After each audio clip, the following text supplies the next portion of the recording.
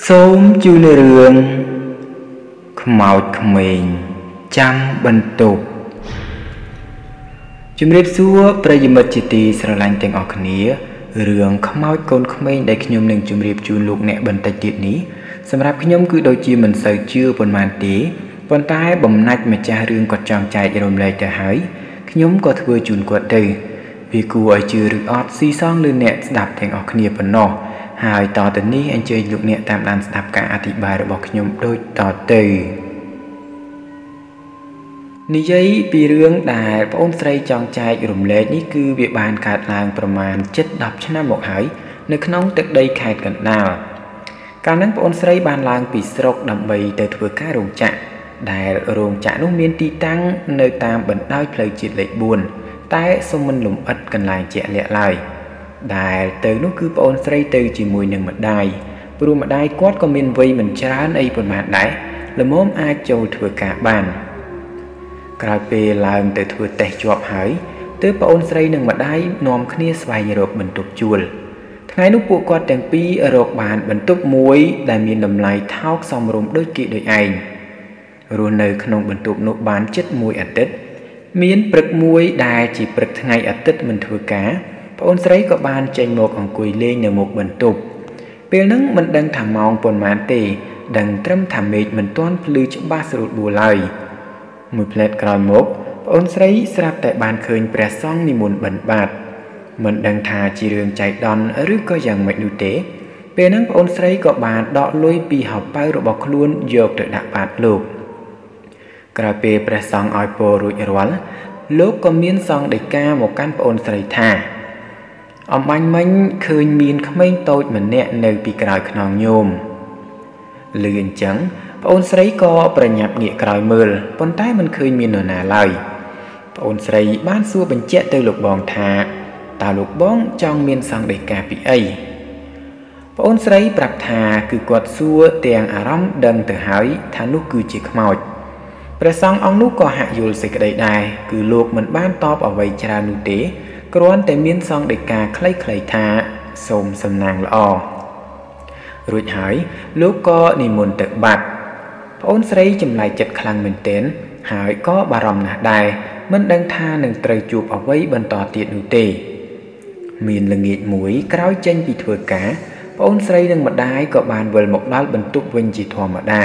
ប៉ុន្តែពេលនោះគាត់ស្រាប់តែបានឮសំឡេងដូចជាមានគេគោះទ្វារបន្ទប់ទឹក ដែលទ្វារបន្ទប់ទឹកតាមបន្ទប់នីមួយនីមួយគឺសុទ្ធតែជាទ្វារសង្កសីអញ្ចឹងហើយនៅពេលដែលមានគេគោះវានឹងបង្កជាសម្លេងខ្លាំងខ្លាំងដំបូងឡើយគិតថាមិនចង់រវល់នោះទេប៉ុន្តែពេលសម្លេងនឹងវារំខានពេកទៅម្ដាយរបស់ប្អូនស្រីក៏បានចេញទៅអាតមើលប៉ុន្តែពេលហ្នឹងគឺគាត់បានដឹងថាសម្លេងវាចេញពីបន្ទប់ជាប់គ្នាដែលគេចាក់សោពីខាងក្រៅ ដល់អញ្ចឹងគាត់ក៏ចូលបន្ទប់វិញដោយគិតថាប្រហែលជាសត្វឆ្មាមិនខាននៅយប់នោះដដែលក្រោយពេលគេងលក់ទៅបានច្រើនម៉ោងបន្តិចប្អូនស្រីក៏ភ្ញាក់ឡើងដោយសារបានឮសំឡេងគេគោះទ្វារបន្ទប់ទឹកសាជាថ្មី គឺវាចេញពីបន្ទប់ជាប់គ្នាដែលគេចាក់សោពីខាងក្រៅនោះដដែលយ៉ាងណាប្អូនស្រីមិនបានប្រតិកម្មអ្វីទេហើយក៏មិនបានដាស់ម្ដាយដែរ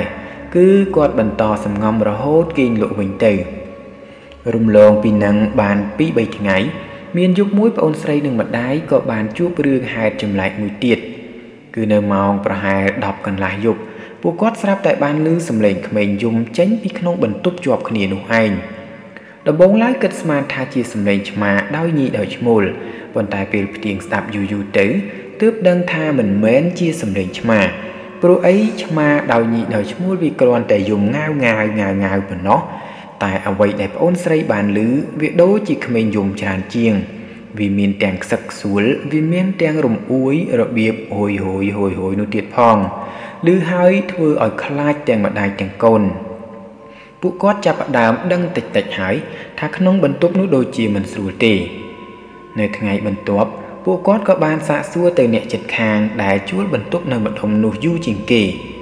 ដំបូងឡើយគឺសួរថាបន្ទប់ជួលទាំងអស់ហ្នឹងតើធ្លាប់មានបន្ទប់ណាមួយមានអ្នកស្លាប់ឬក៏យ៉ាងម៉េចទើបបានជាចេះតែឮសំឡេងចម្លែកបងស្រីម្នាក់ដែលជាអ្នកចិត្តខាងហ្នឹងក៏ប្រាប់មកវិញថាគ្មានបន្ទប់ជួលណាមួយធ្លាប់មានអ្នកស្លាប់ឡើយប៉ុន្តែដូចជាឮថាធ្លាប់មានអ្នករលូតកូនគ្រាន់តែមិនច្បាស់ថាជាបន្ទប់ណាមួយព្រោះអីគាត់ក៏ឮតមកពីគេដែរអ្វីដែលរំខានរាល់យប់នោះ វាអាចជាខ្មោចរបស់កូននោះក៏ថាបាន ហើយក៏ទំនងជាចេញមកពីបន្ទប់ដែលគេចាក់សោពីខាងក្រៅនោះហើយមួយទៅលឺអញ្ចឹងទាំងពីរអ្នកម្ដាយកូននឹងរត់តែព្រឺក្បាលប៉ុន្តែក៏មិនមានគម្រោងថានឹងចេញទៅនៅកន្លែងណាផ្សេងដែរទីមួយគិតថាស្ដាយលុយមួយទៀតគិតថាពួកគាត់មិនមែននៅក្នុងបន្ទប់ដែលមានខ្មោចក្មេងនោះឡើយរំលងពីនឹងមកមិនដល់មួយអាទិត្យផង ក៏ឃើញមានគ្រួសារមួយបាននាំគ្នាមកជួលបន្ទប់មួយស្នាក់នៅ គឺជាបន្ទប់ជាប់គ្នាដែលចាក់សោពីខាងក្រៅនោះឯងប្អូនស្រីបានបញ្ជាក់ថា គេមកជួលមករៀបចំតាំងតែពីព្រឹកអញ្ចឹងហើយគេមានសមាជិកប៉ុន្មាននាក់ប្អូនស្រីក៏មិនបានដឹងព្រោះគាត់ជាប់ទៅធ្វើការទាល់តែល្ងាចទៅបានមកដល់បន្ទប់វិញហើយល្ងាចនោះគាត់បានឃើញថាក្នុងបន្ទប់ហ្នឹងមានប្តីមានប្រពន្ធហើយនឹងកូនពីរនាក់ ប៉ុន្តែនៅមិនបានប៉ុន្មានថ្ងៃផង មានថ្ងៃមួយដែលត្រូវជាថ្ងៃអាទិត្យប្អូនស្រីស្រាប់តែឃើញគ្រួសារដែលនៅបន្ទប់ជាប់គ្នានឹងបានរើរបស់របរញាប់ដៃញាប់ជើងដាក់លើម៉ូតូដើម្បីចាក់ចេញពេលនោះម្ដាយរបស់ប្អូនស្រីក៏ចេញមកសួរថានៅមិនទាន់បានមួយអាទិត្យផងហេតុអីបានជានាំគ្នារើចេញពីអ្នកប្តីប្រពន្ធនោះមិនបានឆ្លើយអ្វីច្រើនទេ គឺគ្រាន់តែញញឹមបន្តិចនិងតបខ្លីៗថា នៅមិនខាតទេបង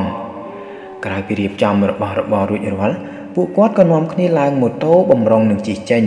តែភ្លាមនោះម្ដាយរបស់ប្អូនស្រីក៏បានខាត់និងសួរបញ្ជាក់ថា ក្រែងឃើញមានកូនពីរនាក់អីឥឡូវមិនឃើញតែម្នាក់អញ្ចឹងពេលហ្នឹងបងស្រីម្នាក់នោះក៏ឆ្លើយប្រាប់ម្ដាយប្អូនស្រីថាខ្ញុំមានកូនតែម្នាក់ទេក្មេងម្នាក់ទៀតដែលបងឯងបានឃើញមិនមែនជាកូនខ្ញុំឡើយថារួច ពួកគាត់ក៏នាំគ្នាជិះម៉ូតូចេញទៅបាត់យ៉ាងលឿនពីរនាក់ម្ដាយកូននោះ បានមើលមុខគ្នាជាមួយនឹងអារម្មណ៍ចម្លែកព្រឺសម្បុរ